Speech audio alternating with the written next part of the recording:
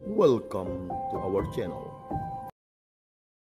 Shalom, kembali lagi di Riak Sabda edisi Sabtu 27 April 2024.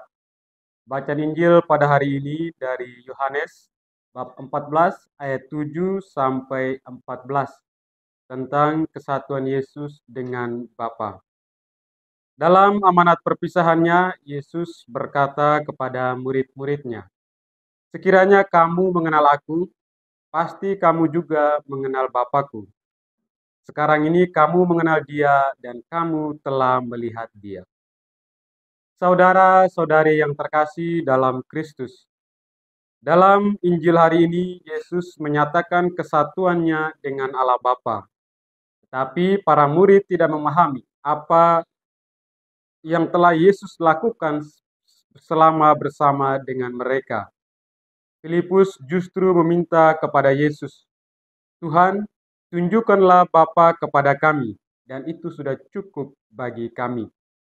Kita pun saat ini terkadang sama seperti para murid Yesus yang tidak menangkap apa yang menjadi tugas dan tanggung jawab kita sebagai murid Tuhan.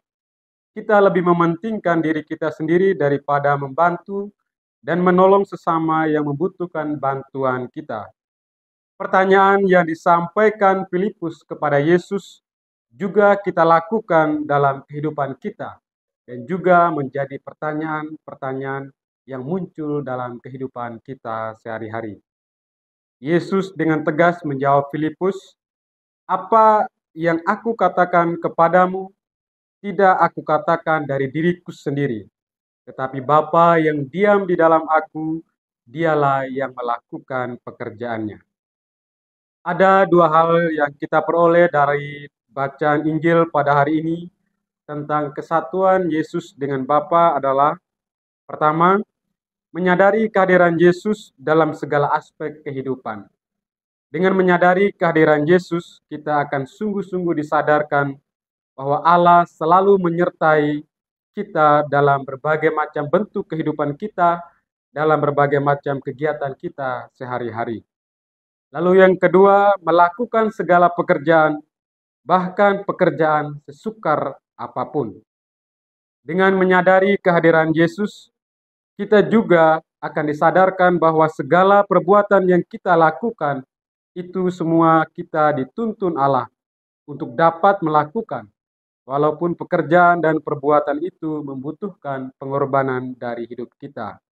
Asalkan kita mau meminta kepada Bapa dengan sungguh-sungguh, kita pasti akan memperolehnya.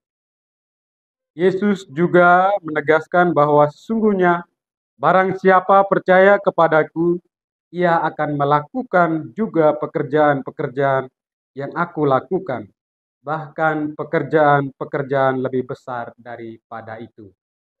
Bapak, Ibu, dan saudara-saudari, semoga dengan bacaan Injil pada hari ini kita semakin disadarkan dalam kehidupan kita akan kehadiran dan juga kesatuan Yesus dengan Bapa.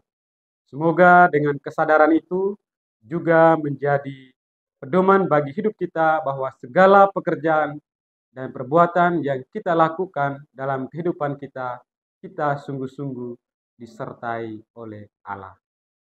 Semoga Tuhan memberkati. Amin.